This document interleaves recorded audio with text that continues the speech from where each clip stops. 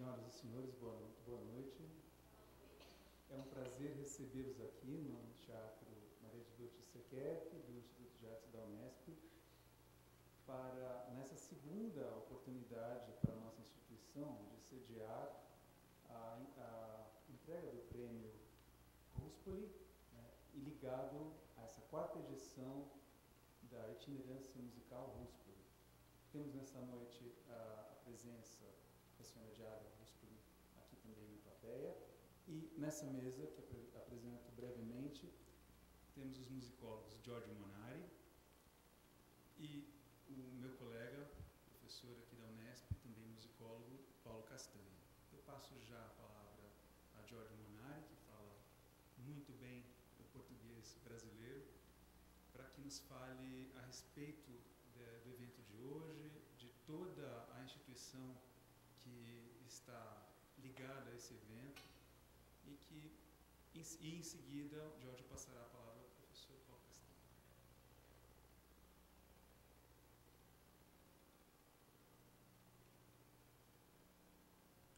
Então, é um prazer estar aqui hoje. Agradeço ao, Vlad, ao Vladimir pela apresentação e aos amigos que estão aqui na, na sala para este evento.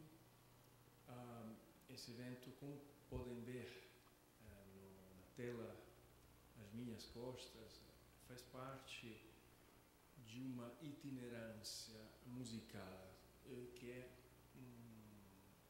basicamente um festival que acontece em várias cidades da América Latina.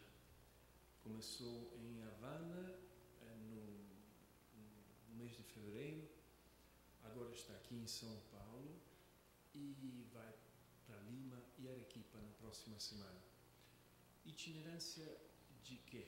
Itinerância de música e também de conhecimentos sobre música, de musicologia.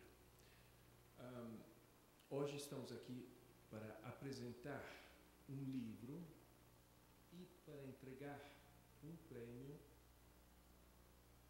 para uma autora de um ensaio que vai virar livro dois anos também. Essa uh, ganhadora, essa autora ganhou um prêmio que é, é, também um prêmio que tem a ver com os nomes de que estão ouvindo falar, é que agora vamos ver rapidamente o que quer dizer esse nome. Então, tudo começou uh, na Itália em 2009 quando Dona Giada Ruspoli, que está sala uh, conosco, uh, fundou um centro de estudos, Centro Studi e Ricerche Santa Giacinta Marescotti, em Vignanello, uma pequena cidade perto de Roma. Era o ano de 2009 e logo o Centro Studi fundou um concurso internacional de música barroca e estudos musicológicos, dedicado ao príncipe Ruspoli. A imagem que vocês estão vendo é onde esse concurso acontece cada ano, em Vignanello. O castelo, que podem ver aqui, junto desse lindo jardim, é o castelo da família Ruspoli, que pertence à família desde o século XVI e é, que no século XVIII, no, século, no começo do século XVIII, foi propriedade do príncipe, o primeiro Ruspoli que foi príncipe, Francesco Maria, que foi um grande mecenas e, e bom, é, apoiou muitos músicos, muitos artistas, muitos poetas, então, é por isso também que o concurso foi dedicado a ele, porque achamos que é, quem faz isso merece uma atenção especial. Sobretudo, pelos que se ocupam de música, de arte e de cultura. Então, nesse castelo acontece o concurso Francesco Maria Ruspoli, que se eh, divide em vários concursos mais específicos, um de música barroca, que começou em 2009, um de estudos musicológicos, que começou em 2010. Então, o concurso chega esse ano, 2018, ao seu décimo aniversário, que vamos celebrar em outubro com eventos especiais no Castelo de Vignanello.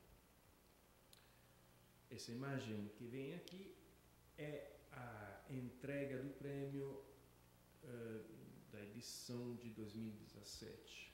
Né?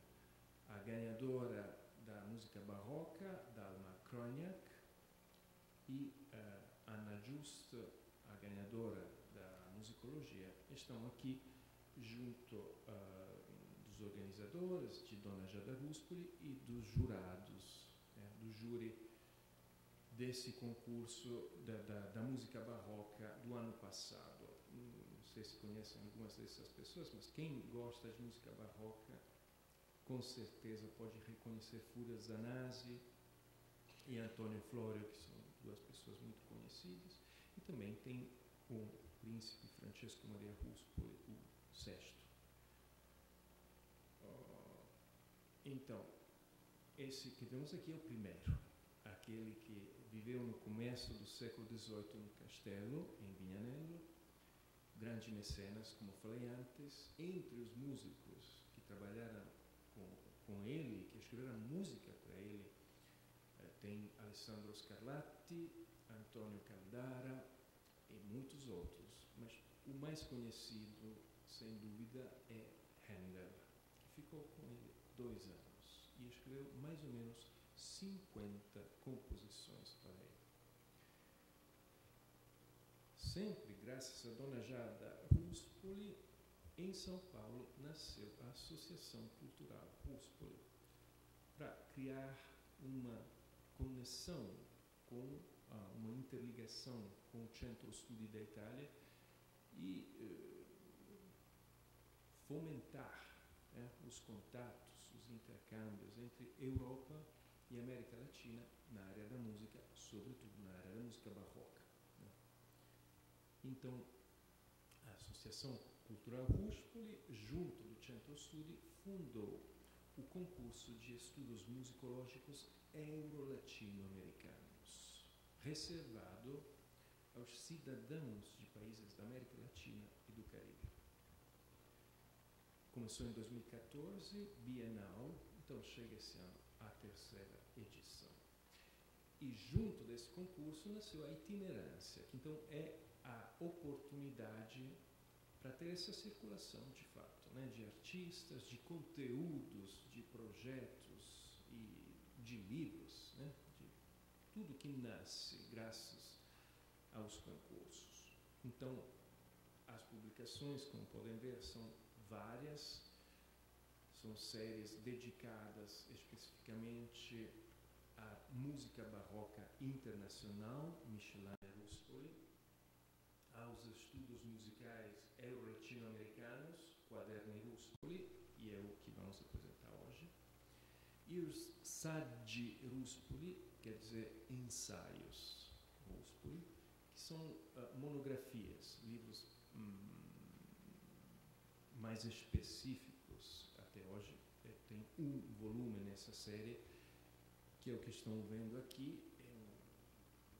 os estudos de Ursula Kirkendale sobre Handel em Roma com o príncipe Ruspoli, com minha tradução e revisão do Warren Kirkendale. Então, chegamos aqui. Essas que vêm aqui é a capa desse livro que é o segundo dos Quaderni Ruspoli, em que publicamos o ensaio ganhador de 2016, uh, ah, escrito por Luiz Costa Lima Neto, que está aqui no público também, agradecemos pela presença.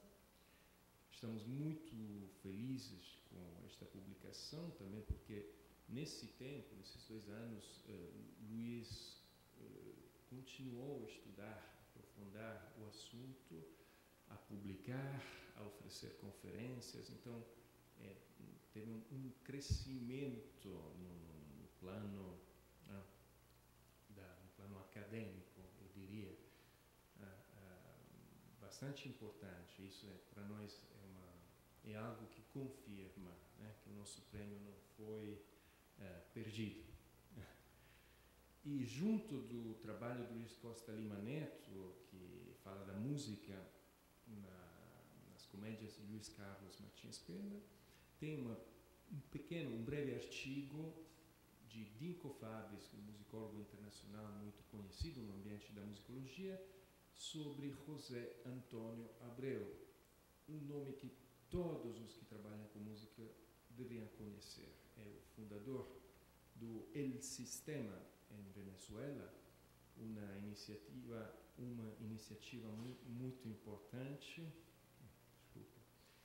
é muito importante que, que como sabem, né, animou muito o, o, ambiente musical de Venezuela e de toda a América Latina, né, com resultados impressionantes. Assim, é por isso o artigo ah, tem título A Utopia Sonora né, de José Antônio Abreu. Uma utopia que Antônio Abreu chamava de utopia realizada, que é muito interessante.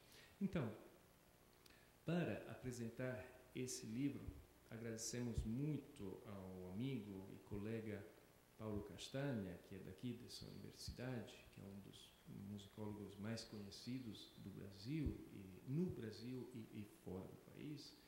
Para nós é uma honra que ele esteja aqui para apresentar esse quaderno Ruspoli eh, desse ano. Obrigado, Paulo. Obrigado, Giorgio. É, agradeço a oportunidade novamente de participar dessa mesa a dona Diada Ruspoli, ao Giorgio Monari, a Tina Curi, sempre procuram onde é que ela está. Hoje ela está assim, não, outro dia estava na esquerda também. É, agradeço a oportunidade e os colegas me pediram para fazer uh, uma rápida apresentação do último volume do Quaderno Ruspoli 2018 e eu vou fazer um, um breve comentário sobre o conteúdo, o que, que esse material contém. Eu prometo que dessa vez eu vou ser breve, na, na segunda-feira não fui tanto, mas eu quero ser mais breve porque o propósito aqui é mais uma apresentação e não tanto uma discussão, embora com, muitos é, assuntos interessantes na, no conteúdo. Então, esse volume, ele contém dois, na verdade ele contém uh, uh, um, um, trabalho principal, né, que é a monografia, a pesquisa do Luiz Costa Lima Neto, mas ele foi precedido por um texto do musicólogo italiano Dinko Fabris, uh, sobre José Antônio Abreu em função do faleci recente falecimento dele. Então vou fazer um comentário sobre o, esse primeiro texto do, do Dinko Fabra, que se chama A Utopia Sonora de José Antônio Abreu, do Novo ao Velho Mundo. É, esse texto do Dinko Fabres é mais do que uma homenagem. Né? Todo mundo sabe quem, quem é, é José Antônio Abreu. Né? O José Antônio Abreu, assim, só para dar uma rápida é, notícia e relação dele com o Brasil, a criação do Abreu, que hoje é conhecido como El Sistema, né? o, o nome do projeto dele é, é enorme, né? O Sistema de Orquestras Juvenis é, da Venezuela. É, é um projeto que, quando foi lançado, há quase 50 anos atrás, ele tinha perspectiva muito inédita, não existia esse tipo de visão na época. Né? O máximo que, se, que, que, vinha sendo construído dos anos 60 para cá, no, no, no, resto do mundo, especialmente na, eh, na América Latina, eram as chamadas orquestras jovens. Mas o propósito das orquestras jovens naquela época é, era um propósito é, essencialmente artístico no, não no sentido. Quer dizer, tinha uma, uma, uma, grande importância, mas ele não tinha uma, um, propósito so, um propósito social. O que o, o Antônio Abreu fez foi uh, ligar a ideia das orquestras jovens, dos grupos de música jovem, à perspectiva de inclusão social. Essa foi a grande inovação do, do José Antônio Abreu. Com isso, ele fez o projeto crescer muito. Hoje, a Venezuela tem mais de 400 orquestras. Só para a gente ter uma ideia, o Brasil, que é 20 vezes maior que a Venezuela, tem em torno de 100 orquestras. Venezuela, cerca de 20 vezes menor que o Brasil, tem mais de 400 orquestras. Quer dizer, ele, ele conseguiu hum, uma realização de um impacto muito grande. Né? Não só na geração de grupos de grande porte como esse, mas, sobretudo, na ligação entre o interesse artístico e a inclusão social. Essa é a grande inovação do José Antônio Abreu. E o impacto que isso teve no Brasil, que o Brasil também já estava nessa onda de orquestras jovens, mas só no plano artístico. Né? Essas orquestras jovens basicamente recebiam a elite, os filhos da elite, né? na sua origem. Quando o impacto do El Sistema chegou ao Brasil, eh, os nossos projetos de orquestras jovens foram totalmente reconfigurados. Então vamos citar, de, não só de, de, os projetos artísticos, mas os projetos educacionais, né? fruto, dentre muitos outros, frutos brasileiros do El Sistema, é, por exemplo, o projeto Guri. Não se poderia pensar o projeto Guri sem a experiência do, do El Sistema na Venezuela. Né?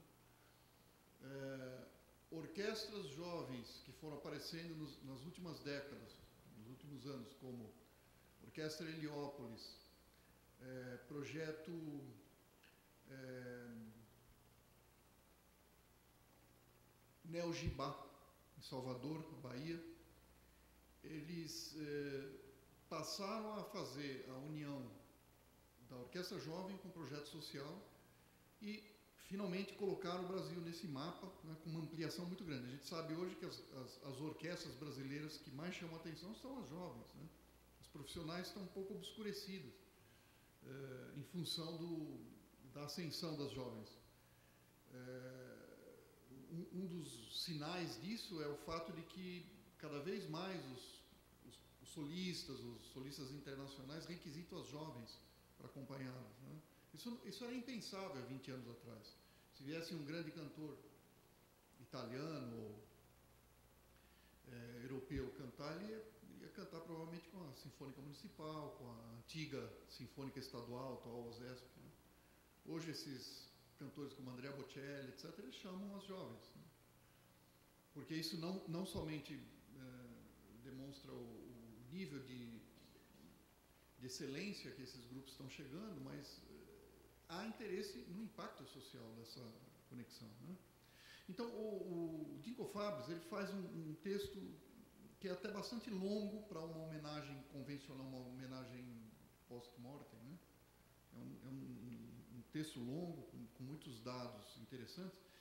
E, e, ele faz uma abordagem crítica também, porque hum, poucos anos atrás saiu um trabalho do Geoffrey Baker, que é hoje considerado o primeiro trabalho crítico sobre o sistema, que até até 5, 10 anos atrás, tudo que se publicou e se filmou, havia vários documentários, eu mesmo usei em aula vários documentários sobre o El Sistema, eram textos muito mais de propaganda do que de análise crítica. E o Dinko Fabre, o, o Geoffrey Baker, que é um musicólogo inglês, ele fez uma abordagem crítica, inclusive muito severa. Ele passou um ano na Venezuela e, e observou todos os movimentos que eram eh, próprios né, do sistema e ele acabou tocando em questões como o uso excessivo dos, dos, jovens nesses grupos, eh, enfim, né, uma certa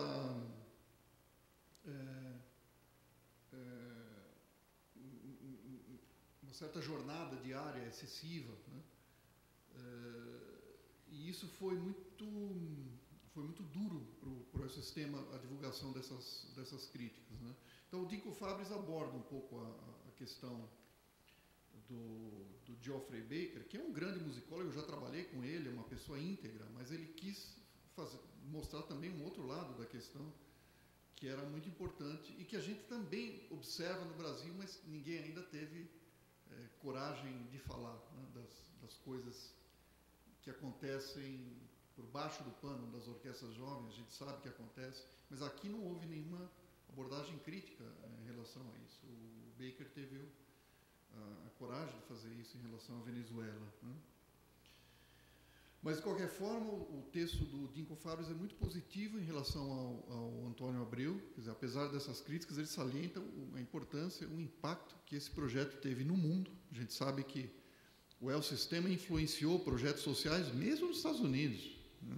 A gente hoje é, demoniza um pouco a Venezuela né, como o último lugar interessante do mundo, mas foi a Venezuela que transformou o, o ensino musical recente e a, a perspectiva de integração social de jovens músicos, que provavelmente será a salvação das orquestras, porque não há mais subsídios suficientes nos, na, nos sistemas de governo para manter a quantidade de orquestras é, sinfônicas que eram mantidas até o final do século XX. Né? A gente sabe é, bastante bem que a, a, as orquestras profissionais entraram em rota de extinção, ou pelo menos de intensa diminuição. Para se ter uma ideia, a gente teve há dois anos atrás aqui a, a, a tese da Camila Bonfim, que é minha mulher, ela demonstrou que de, mil, de 2004 para hoje, caíram pela metade o número de orquestras sinfônicas da Grande São Paulo, da região metropolitana de São Paulo. Dizer, hoje nós temos metade das orquestras profissionais subsidiadas pelo Estado que havia em 2004, na região metropolitana de São Paulo, né? que abrange não só São Paulo, mas São José dos Campos, as, as cidades é, circunvizinhas. Então, o, o, o, o El Sistema é uma perspectiva é, abrir um caminho para o futuro que não era conhecido. Né? Então, essa é a grande homenagem do, do Dinco Fabres em relação ao, ao, José Antônio de Abreu, o criador eh, desse, eh, dessa proposta, né? ainda que com, com, questões controversas, mas com muitos eh, aspectos importantes para o futuro. E, em seguida, vem o grande trabalho, o trabalho principal, que é o o texto do Luiz Costa Lima Neto, que está intitulado Os Folhetins Líricos e as Comédias de Costumes, de Luiz Carlos Martins Pena, 1838-1836, em benefício da liberdade. Um, o, o, trabalho do, do Luiz, eh, ele tem muitos aspectos interessantes. Foi só agora que eu li pela primeira vez esse trabalho, né? depois que ele saiu impresso, o Luiz prossegue pesquisando nessa, nessa direção. Mas, em primeiro lugar, esse autor era muito pouco conhecido. Né? Se conhecia um pouco dos, dos textos críticos do, do Martins Pena, que eram os chamados folhetins. Né? Mas uh, as, os, as obras artísticas dele, não. E mesmo os textos críticos eram assim, circulavam em um, em um, entre um número de pessoas muito, muito escasso. Né? Uh, e o Luiz Costa deu um, uma dimensão muito grande aqui ao, a, a leitura desse, desse trabalho. Martins Pena, aqui em São Paulo, é basicamente nome de rua. Né? No, no, Rio também é nome de rua. A gente só tinha esse nome como. Ah, é uma rua ali no centro, Martins Pena.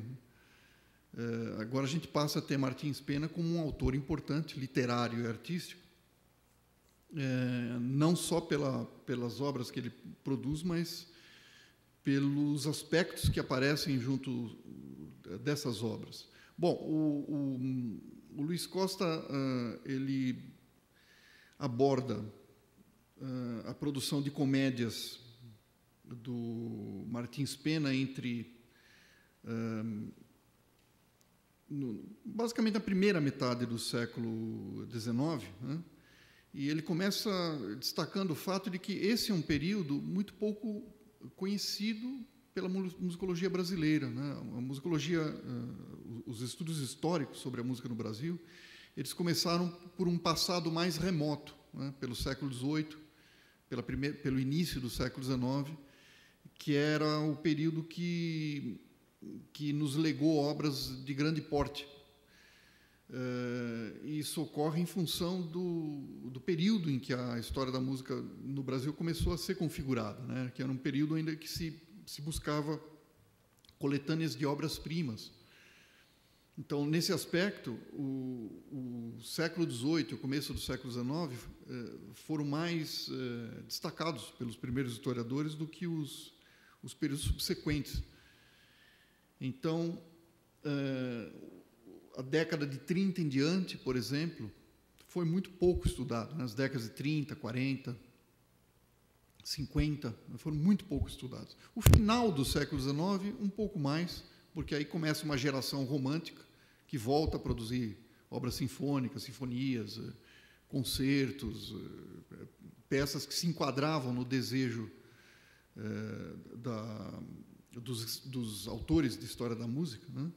Mas esse, esse meio do século XIX ficou um pouco a descoberto. Então, esse é o primeiro interesse do, do trabalho do Luiz Costa Lima, em função de abordar um, uma, uma, época muito pouco conhecida. Né? E depois o, os trabalhos que, o, os aspectos que o, o, Luiz Costa Lima Neto é, resgata desse período são muito interessantes. Né? Uma das coisas que mais chamam a atenção é, é, o, é, o, fato de que os cantores naquela época possuíam uma liberdade criativa completamente diferente da atualidade. Né? Então ele, ele, destaca o fato de que um, um cantor, né, nos anos 30, 40 do século XIX, era quase que um co-criador junto com o compositor. Ele não, não apenas é, lia partituras, né? ele participava da montagem da obra de uma forma muito mais ativa do que participam os, os cantores da atualidade. Né? E é curioso que a gente vê, de forma distorcida, claro, isso não existe, mas é, alguns círculos veem a história da música como um contínuo progresso, né? porque esse é o mito positivista, né? que tudo progride. É uma das coisas que eu mais falo nas aulas de história da música é que isso é, é falso. Né? Isso não, não existe um contínuo progresso. Às vezes algumas coisas melhoram, mas às vezes algumas coisas é, é, deixam de, de melhorar, pioram ou, ou, ou se definham. Né?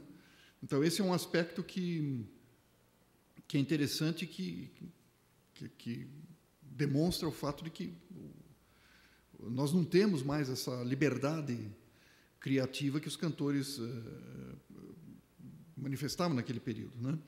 O trabalho também tem uma extensa biografia do Martins Pena, com várias informações que não eram uh, até agora conhecidas, uh, e uma abordagem dos, uh, dos trabalhos né, da, desse autor.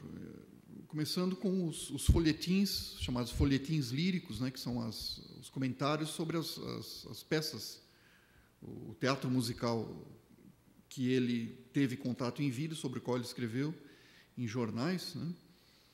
É, e é muito interessante porque a gente vai percebendo que o, o, o Martin Spener era um, um, uma pessoa que, que, que, tinha uma visão é, bastante de vanguarda daquela época. Né? Ele é um dos proponentes, por exemplo, da, da fundação do Conservatório Imperial de Música. Ele observa, essa proposta parte da observação dele do que era a vida do, de, um, de um músico, de um cantor naquela época. Né? Novamente contrariando as nossas expectativas, ele fala de, de como ganhavam mal os cantores e, e quanto eles trabalhavam, né? de manhã até de noite, todo dia, o tempo inteiro, e para quem usa a voz sabe como isso é difícil, né? com um, um, salários parcos que, que, é, que era muito difícil manter uma, uma, uma vida artística, né? e, que, e que, em geral, resultava numa vida artística curta. Né? Esse é o, acaba sendo o impacto de uma má remuneração e um grande esforço. Né? Então, observando essa realidade, ele acaba propondo a fundação do Conservatório, de, Conservatório Imperial de Música, né, quando ele foi é, criado, tempos depois, mas ele é um dos, dos grandes proponentes do projeto que foi efetivado né, posteriormente pelo Francisco Manuel da Silva. Ah, o Luiz Costa, já estou caminhando para o final, o Luiz Costa analisa cinco das eh, comédias escritas por Martins Pena, com eh, análises tanto em relação ao texto, à, à escritura musical, as relações entre uma coisa e outra, as relações entre as obras de Martins Pena e, obras eh, do período, com uma questão que me, eh, assim, me parece a, das mais interessantes do, do, contexto, que é o fato de que essas obras continham uma grande quantidade de contrafações. Vocês sabem o que é contrafação, não é? Pegar uma música que já existe e trocar a letra. É, que é, que é um, um, ato que a gente pratica até hoje, né? É, essas comédias uh, usavam bastante a contrafação. A, a, vantagem da contrafação é que o ouvinte já, já conhece a melodia, né? mas ele passa a ouvi-la com uma nova letra. Então ele, ele, ele faz um, um, corpo de associações que ele não faria se a, se a melodia fosse nova. E, e, a outra, que é mais, mais interessante, são as relações desses trabalhos com a cultura popular, né? com diversos aspectos da cultura popular. Ah, ali aparece, por exemplo, é, danças populares da época, lundu, é, é, cachucha, né, danças típicas do século XIX, especialmente no Rio de Janeiro. Uso da viola, viola de, de dedo, né, viola brasileira, que para obras teatrais é muito raro nesse período, né, ou, ou diria que está tá começando, mas mesmo assim é raro no século XIX. É, isso aparece nas obras dele.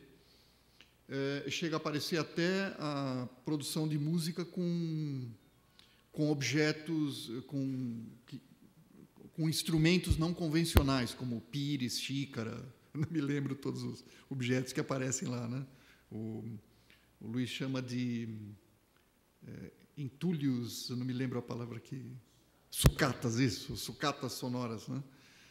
Uh, a gente te, imagina que isso só aqui no final do século XX fosse ser cogitado, né? mas uh, está sendo usado na década de 40 né? na, do século XIX, e são aspectos que a gente não, não conhecia, né? uh, não só desse autor, mas como, como da, da, da, produção brasileira do período. Né? E faço um comentário final, que é justamente o fato de que é, um país não pode ser nunca um país se ele não conhece a própria história e a própria cultura. Né?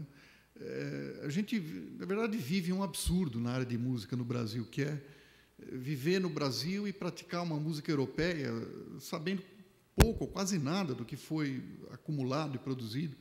É, isso não pode dar certo, isso não dá certo. Né? Não é possível que a gente consiga é, fazer só um, uma abordagem musical que seja meramente muscular, né? e que não seja baseada em, baseado em uma, uma cultura construída é, por uma comunidade ao longo do tempo. Né? Então, é, revisitar a história da música do Brasil, resgatar esses aspectos esquecidos e demonstrar que a cultura brasileira foi muito mais rica né, em diversos setores, uh, em diversas partes do, do país. É, é, é, muito importante, não só para a execução da música brasileira, é importante para a execução da música europeia. Né? Não é possível que a gente se imagine ser apenas filhos de Bach e de Beethoven, porque nós não somos. Né? Nós somos filhos dessa cultura aqui, que por alguma razão decidimos não praticar essa cultura e praticar a cultura europeia. Mas mesmo para isso, não daria certo. Né? É, a observação que a gente mais ouve quando uma, um grupo de grande porte atua no exterior é, é que os brasileiros, sobretudo as orquestras, né, as orquestras brasileiras tocam música europeia como brasileiros Mas quando elas tocam música brasileira, elas o fazem como europeus. e é isso, obrigado.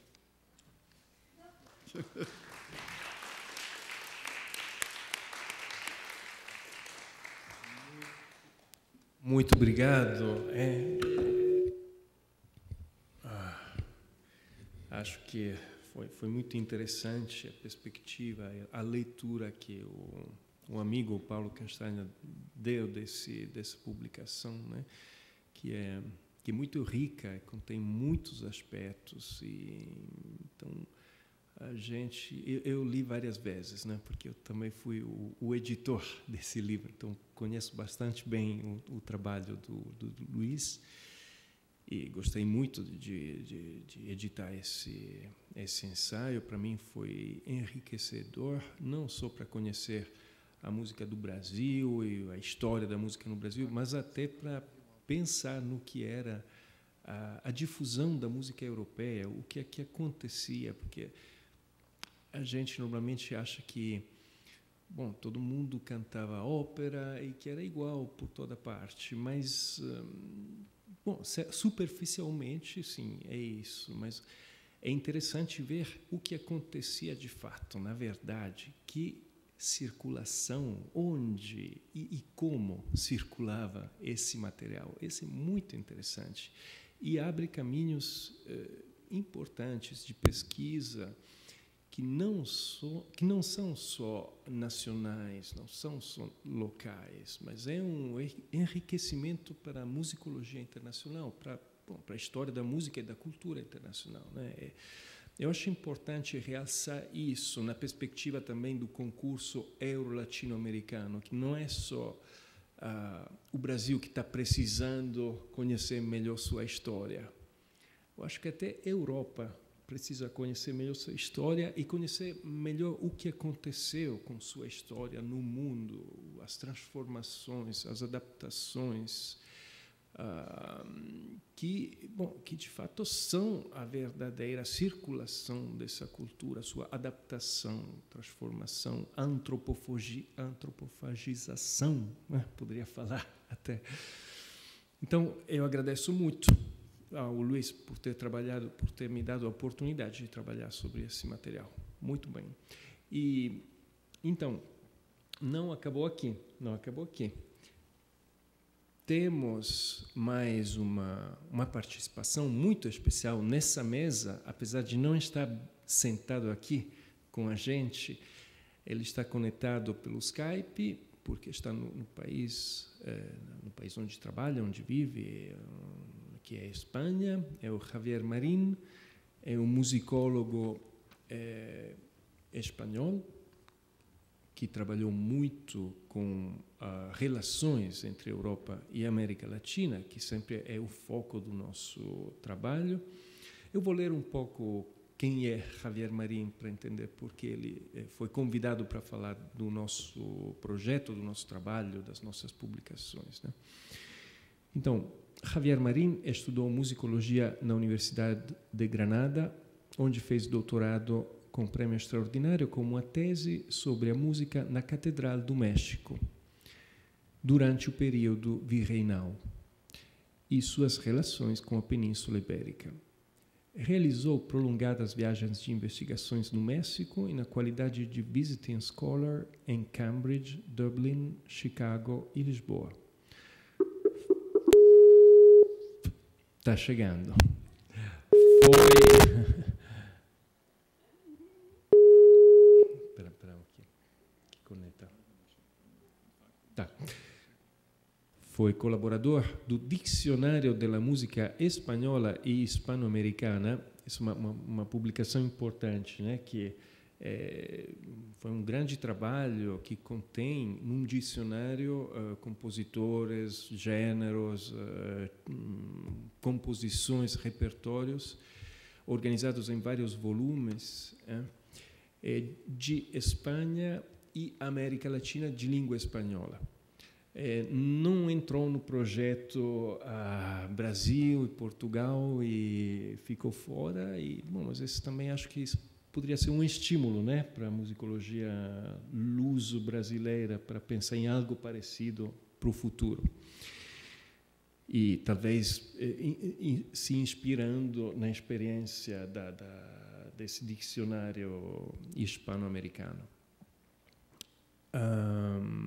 Então, publicou diversos artigos e capítulos de livros sobre vários aspectos da cultura musical latino-americana e espanhola durante os séculos XVI ao XVIII em revistas especializadas, assim como em várias coleções internacionais de ensaios.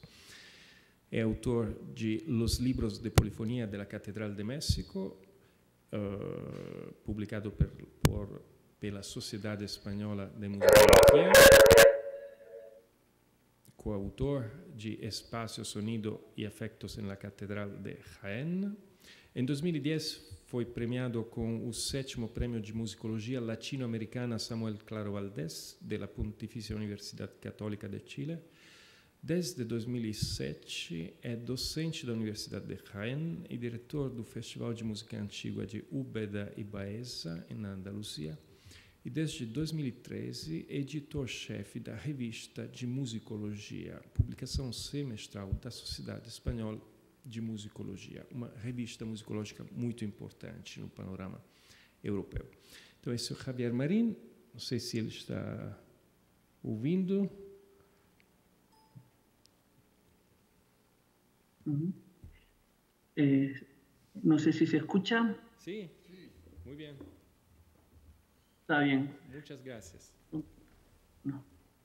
Primeramente, peso disculpas.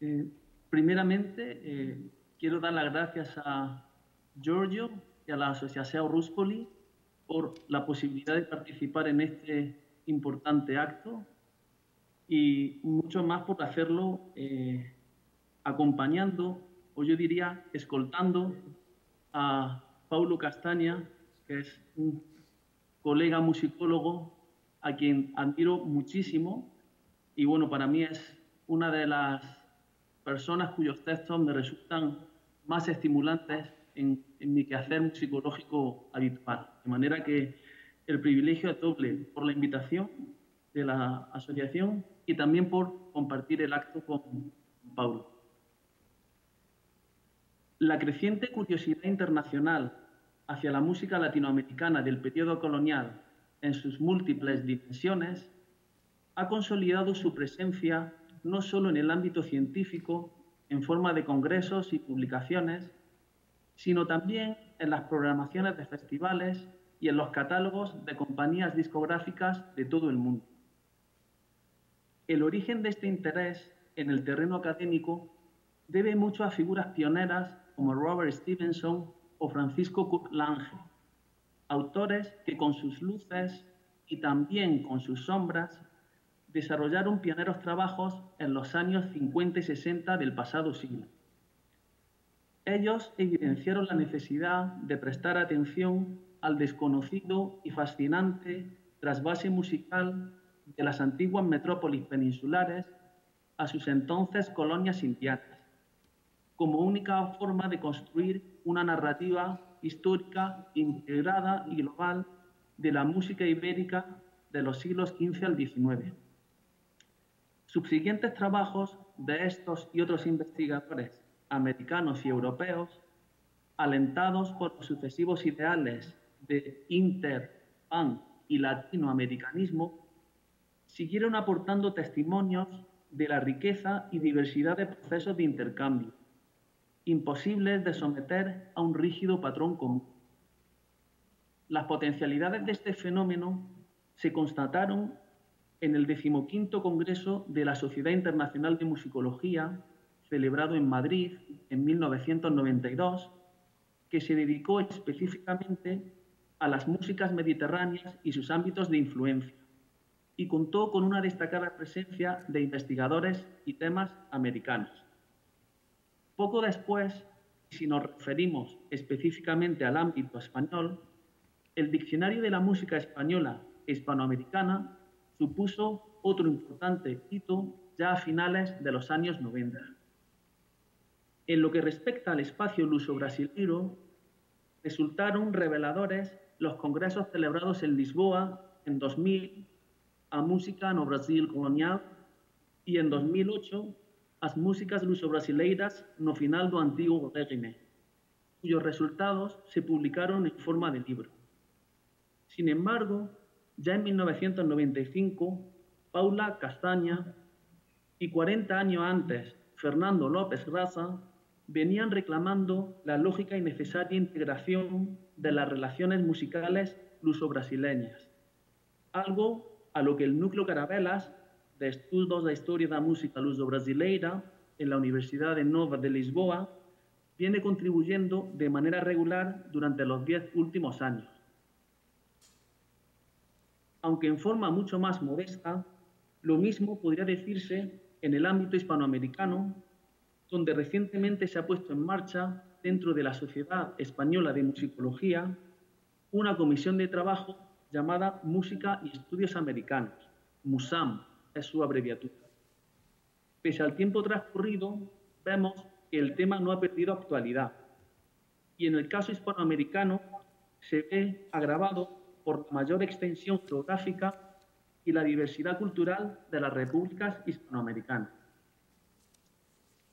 Aunque desde una perspectiva amplia, todo estudio sobre la cultura colonial del mundo americano toca de una u otra manera las permeables dinámicas de intercambio, ya sea por asimilación o por rechazo en diferentes grados, las monografías en las que este tema deja de ser una mera aportación residual o telón de fondo para convertirse en el elemento central, es decir, en el factor que articula el discurso, son aún escasas, pues el fantasma del colonialismo sigue aún latente y se resiste a desaparecer al menos en determinados sectores. Sin embargo, más allá de apriorismos ideológicos y revanchistas, resulta evidente que, para bien o para mal, es imprescindible superar dichas trabas si queremos tener una mirada algo más completa o, si se quiere, menos distorsionada de nuestras respectivas historias de la música. A mi juicio, ello pasa por restituir conexiones culturales conscientemente perdidas e ignoradas y hacer caer los artificiales muros separatistas fomentado de forma consciente o inconsciente, tanto en el pasado como a veces en el presente. Sé que ello es todo un reto en el mundo actual, en el que nuestra historia solo interesa de manera muy relativa y donde la presencia de fuerzas capitalistas, globalizadoras e influencias externas, no solo en Brasil, también en España y yo diría que en cualquier país del mundo, sigue determinando nuestra vida cotidiana. La única solución posible para superar estas rémoras pasa por el empleo de un paradigma de estudio aún en construcción y que podríamos denominar el de los intercambios transatlánticos, que ponga el acento tanto en los sustratos comunes conforman la cultura musical iberoamericana como en los particularismos locales de tales desarrollos y que en todo caso siempre permanezca abierta a la discusión, la reflexión y el debate. Ello comienza por emplear el término músicas coloniales desprovisto de connotaciones peyorativas y colonialistas y hacerlo en un sentido marcador e inclusivo para referirse tanto a las músicas peninsulares o europeas importadas por los colonizadores, como también las creadas localmente, tuviesen o no como modelo aquellas, por los distintos grupos étnicos, ya sean religiosas, profanas, vocales, instrumentales o mixtas, y escritas o de tradición oral.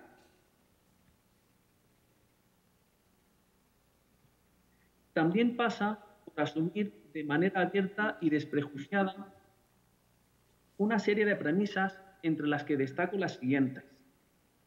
Por un lado, revisitar y reanalizar, como hace apropiadamente el ensayo que ahora presentamos, un periodo tradicionalmente considerado rupturista, como es el siglo XIX, y sin duda que lo fue en el terreno político, y en otras muchas facetas, pero que ha de ser también valorado y reconsiderado en función de las vivencias y las clarísimas continuidades que vienen del mundo colonial, como demuestra, según indicaba, el trabajo de Luis Neto incluido en este segundo cuaderno que comentaré después. Igualmente, creo necesario plantear el asunto de las relaciones musicales a escala continental, ya que la península ibérica, que en muchos casos actúa como centro creador y difusor de sus propios modelos, en otros momentos solo operó como correa de transmisión de técnicas, repertorios y prácticas europeas de distinta procedencia. Considero que se debe también explorar las prácticas musicales en los distintos espacios de socialización, poniendo de relieve la acción de los agentes culturales en el conjunto de procesos y generando redes e intersecciones que pongan en evidencia su transversalidad. En síntesis, se trataría de superar la visión de cajón desastre de los estudios de orientación institucional o biográfica y valorar en toda su dimensión la heterogeneidad del devenir latinoamericano, los hilos coloniales. Esto incluye recuperar para la historia colonial a los sujetos que hasta ahora han quedado mayormente relegados y que participaban de manera activa en la realidad sonora del continente. Me refiero a los músicos populares, sus músicas, sus ámbitos de actuación en ciudades y en el mundo rural y sus constantes interacciones con la esfera erudita. Finalmente, se hace imprescindible superar las nociones clásicas asociadas al protagonismo de compositores, obras y géneros, que son tratados en la condición de clásicos o canónicos y que invariablemente nos arrastran a un nacionalismo musicológico que de un lado elude la compleja interacción entre producción y consumo cultural que permeó los momentos históricos coloniales y poscoloniales, y de otro nos condena a un discurso basado en criterios aislacionistas o de retraso cultural.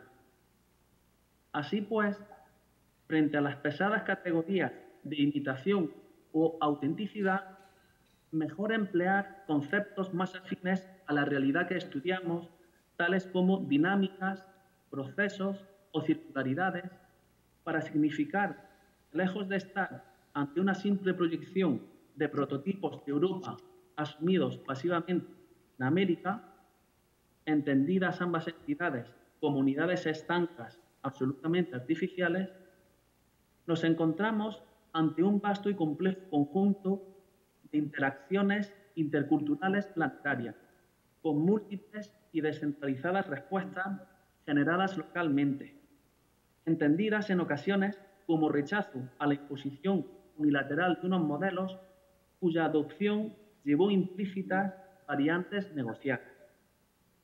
Además, en algunos casos las matrices europeas, reelaboradas a nivel formal e ideológico en suelo americano por diferentes clases y grupos sociales, regresan al viejo mundo transformadas y retroalimentan las propias prácticas occidentales, generando un diálogo transatlántico que quizás sea asimétrico, pero es constante y multidireccional, y que afectó tanto a las prácticas musicales eruditas como las populares. Todo pasa, pues, por realizar un esfuerzo para que los estudios descriptivos de hechos musicales se inserten más claramente en el cambiante contexto de los que emergen. Cabe señalar que estas operaciones no son casuales, neutras ni inocentes, sino que constituyen estrategias discursivas altamente elaboradas de representación del poder y construcción de identidades de los diferentes agentes de la sociedad americana. Por medio de este planteamiento se persigue superar la dicotomía simplista y maniquea con la que muchas veces se ha abordado el estudio de las relaciones musicales sobre la base de binomios como centro-periferia, metrópoli-colonia, creador-receptor, peninsular-criollo, poder-resistencia o importado propio. Mejor abogar por un modelo de intercambios más flexible que se nutra también de las teorías postcoloniales y en el que las supuestas periferias son múltiples, variadas, hibridadas y fértiles como los presumidos centros o modelos, todos ellos en constante contacto y reconfiguración. Hasta aquí lo que pudiera ser un decálogo de recomendaciones para la construcción de una nueva narrativa historiográfica. En el contexto hasta aquí descrito, los cuadernos Rusli, dedicados de manera monográfica al estudio de las relaciones musicales euro-latinoamericanas, constituyen una iniciativa editorial realmente bienvenida en el contexto historiográfico actual. Y lo es también porque de alguna manera intenta despertar vocaciones, como en el sacerdocio. Es decir, vincula un premio de estudios musicológicos con la promoción de jóvenes talentos en el ámbito de la musicología latinoamericana, constituyendo un premio hasta donde yo conozco único en su género en Europa. Tras la publicación del primer volumen en 2016, con un brillante ensayo de José Manuel Izquierdo sobre la música instrumental de Pedro Jiménez Abril, y que tanto debe a modelos europeos, Haydn, como americanos, como la danza andina del Yarabí, este segundo cuaderno se inicia con un brillante ensayo de Vinco Fabris sobre la recepción europea del ideario de José Antonio Abreu, el carismático fundador del sistema, fallecido en marzo de este año. El cuaderno incluye también el texto ganador del segundo premio Ruspoli 2016, que recayó en Luis Costa Lima Neto, por un excelente trabajo dedicado a los folletines líricos y la música en cinco comedias de costumbres del músico, dramaturgo, dramaturgo músico, Luis Martín Pena. Se trata de un importante trabajo que sienta las bases para conocer más en detalle no solo la actividad teatral brasileña y sus conexiones con Portugal, sino también con las tradiciones teatrales españolas.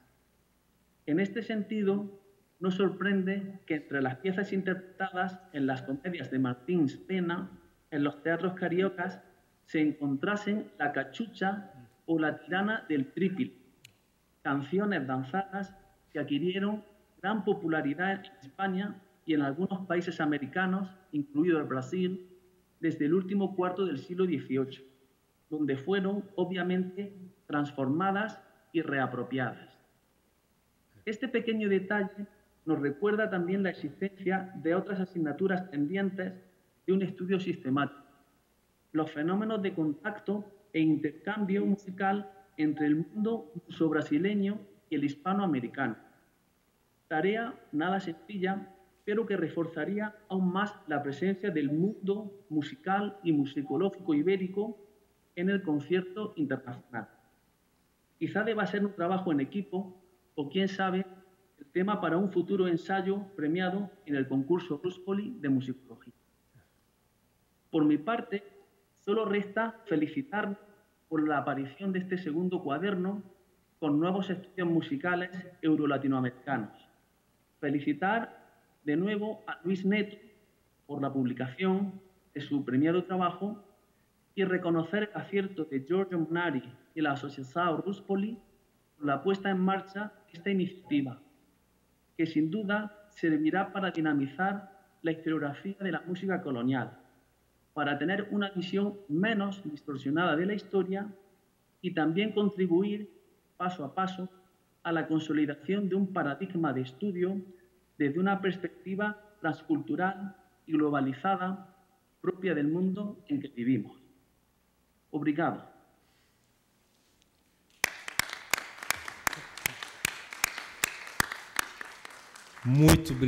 Muitas graças, Javier. Eh, Bueno, o Skype um, não, uh, não, ajudava muito, mas acho que deu para entender né, os, os, vários conceitos muito importantes que Javier passou para a gente.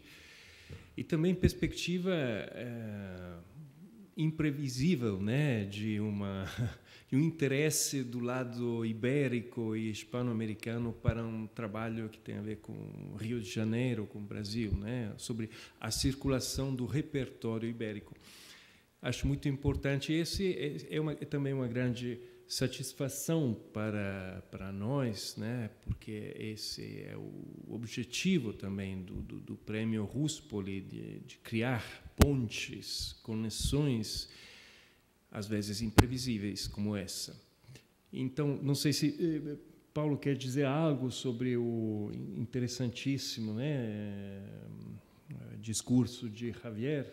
Tem perguntas que alguém quer fazer? Não sei sí, o para, o para, para Paulo, para qual, qualquer um. Se perguntas. Se tiver perguntas, questões, estamos abertos.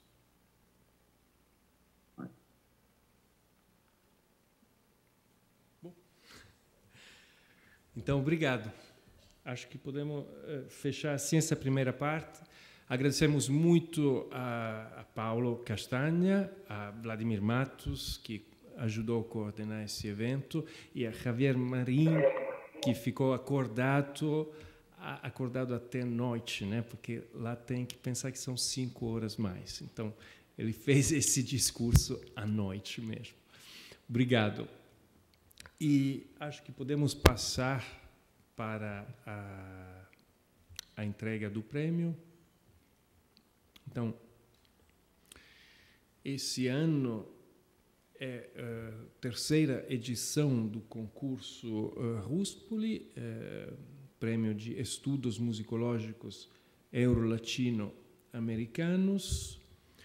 Uh, o, o comitê científico do concurso Ruspoli, formado por Álvaro Torrente, musicólogo da Universidade Complutense de Madrid, por Dinko Fabris e por, por mim, que estou falando agora, e os consultores que eh, foram esse ano Aurelio Tello, David Kramer, Javier Marin, Leonardo Weissman e Miriam Escudero, de vários países eh, de América Latina, uh, examinaram os trabalhos recebidos e decidiram qual é o resultado.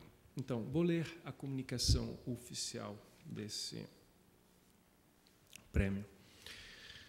O Comitê Científico do Concurso Internacional Príncipe Francesco Maria Ruspoli, depois de ter recebido as comunicações dos membros do Comitê dos Consultores do terceiro concurso de estudos musicológicos euro-latino-americanos e de ter avaliado os requisitos dos candidatos e a conformidade com o regulamento dos trabalhos enviados, relativos às relações musicais entre a Europa e a América Latina até o século XIX, declara que o vencedor é Juliane Cristina Larsen, de Toledo, Paraná. Autora do trabalho A Ideia Novecentista de Evolução Musical na Imprensa do Rio de Janeiro e a Noção de Modernização nos Discursos das elites brasileiras republicana. A mesma poderá receber o reconhecimento em dinheiro de 3 mil reais e o seu texto será revisado para publicação em um volume, em um próximo volume dos Quaderni Ruspoli.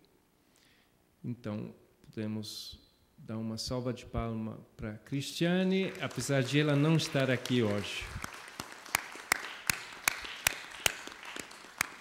E quero convidar agora o o presidente da Associação Ruspoli, responsável pelo prêmio, Dona Jada Ruspoli, é, pelo menos para mostrar a targa é, que vai ser é, não sei, é, enviada, talvez, para ganhar. Para agradecer eh, a Unesp, Paulo Castanha e Vladimir Matos, os presentes aqui, o Bruno Taddeo, que vamos escutar daqui um pouco com Madrigal, e a, e a Jeanette Becker. Uh, eu quero só falar do meu ponto de vista, da, dos pontos que eu acho que eu estou trabalhando para entender mais o que estamos fazendo. Porque cada, cada momento é novo e tem vários pontos aqui que eu acho que precisa uh, apontar para entender. Tem dois pontos, começando. A pesquisa, a pesquisa teórica, que é a base, e essa pesquisa precisa ir para a apresentação, não pode ficar a pesquisa, assim, é, é, só teoria. E aqui nós temos um exemplo maravilhoso do Paulo Castanha, porque ele é um pesquisador de fato. E o nosso arti artor, uh, diretor artístico, uh, Giorgio Monaro, faz questão também que todas as nossas pesquisas teóricas vão ser apresentadas em música. Então, isso é uma coisa que eu gosto, porque são duas partes que às vezes ficam isoladas e não se comunicam entre eles. Essa é uma parte. Uh, isso implica o quê? Pontar sobre a parte, vamos dizer, uma parte onde não é só o Brasil, mas também a Europa, muitas vezes, quando está em crise, corta os fundos para pesquisa e para doutorados e para e para essa parte teórica. Isso é um problema e os privados se podem in, podem colaborar com isso. Acho importante essa contribuição porque é, vem, a, vem a menos, às vezes, da parte pública. O social, o social, eu acho que todo governo, eu acho, é, tem, se fala muito do social. Uh, a minha visão do social nesse contexto do prêmio e da associação é uma integração entre os nossos eh, vencedores e as realidades que encontram aqui em Cuba, no Peru, e essa integração através de masterclass, não só através de cantores, Uh, mas também de, uh, por exemplo, produtores, uh, construtores de instrumentos, eh, para trazer a experiência europeia para a América Latina. Do outro lado, eh, no castelo, lá onde tem esse centro, eh, que não é só de prêmio de música, mas também de outros eventos, etc., mas é uma porta aberta para receber, como, fui recebi, como foram recebidos muitíssimos eh, brasileiros, por enquanto, mas eu espero também peruanos, e esse ano vai vir pela primeira vez eh, dois cubanos para tocar, então que seja reconhecida e conhecida a, a música eh, da América Latina. E, e devagar, eh, essa integração, então, é, é, é, o que acontece. Isso é uma parte que eu eh, gosto muito de enfatizar. Va, eh, vir aqui, trazer ao vencedor europeu, fazer masterclass, e ir para lá para o prêmio, para se apresentar as músicas descobertas também no prêmio teórico de Euro Latino-Americano. Então, temos várias facetas e um, uma última faceta importantíssima, eu acho que é, dentro de todo esse programa, achar a sustentabilidade. Porque, infelizmente, não podemos esperar muitos recursos, muitos também se a gente faz ler o ANE, projetos assim, temos poucos recursos. E eu acho, e faz anos que eu estou tentando achar um jeito para se sustentar, para se sustentar sozinho esse projeto em várias uh, nessas várias áreas de atuação e uh, eu acho que precisamos ter músicos economistas para nos ajudar para criar, se entende, ideias novas para a gente se sustentar. Então, é, eu é, tenho o meu e-mail, é, gosto muito quando eu, a Tina, que agradeço muito a nossa produtora, responde tudo, tudo, eu sigo, mas eu também, quando me escrevem para mim, Jada Ruspoli, eu respondo e eu me comunico, me comunico e todas as ideias são bem-vindas. Então, obrigada, vamos tentar continuar sonhando e ter esse sonho sempre mais concreto. Obrigada para todo mundo.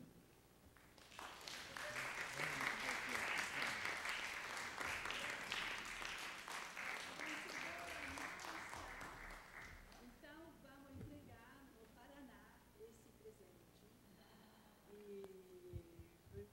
foi porque a gente tentou que ela viesse ontem, mas eh, só, ela não podia vir, ela ensina, eh, ela não podia vir. Então, nós vamos levar para ela esse prêmio, que foi feito na cidadezinha de Vignanello por um artista de lá. É isso.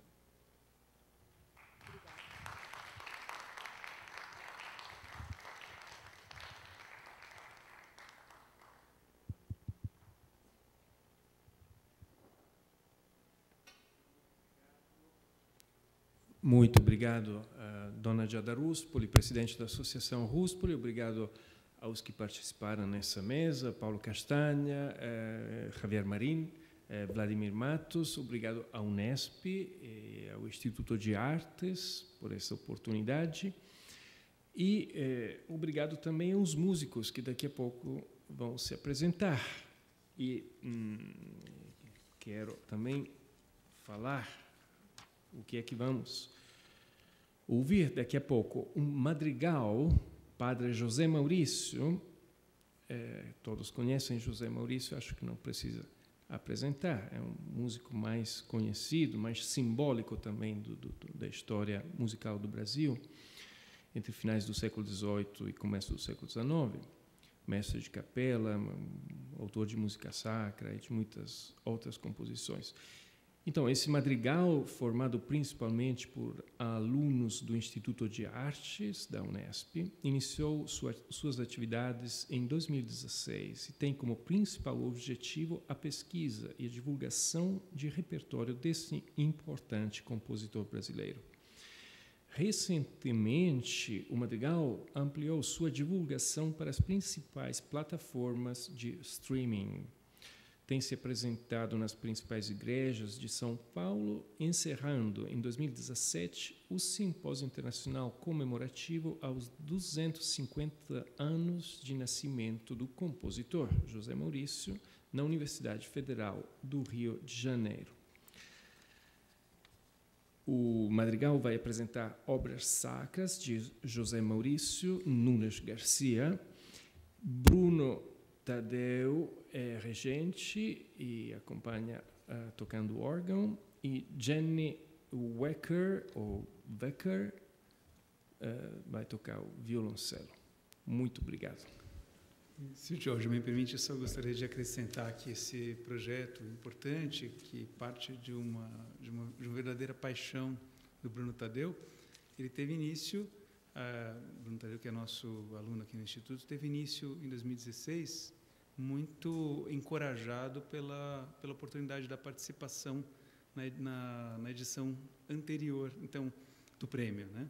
Então, é uma ação indiretamente, mas também diretamente incentivada pelo, por, esse, por, esse prêmio Ruspoli.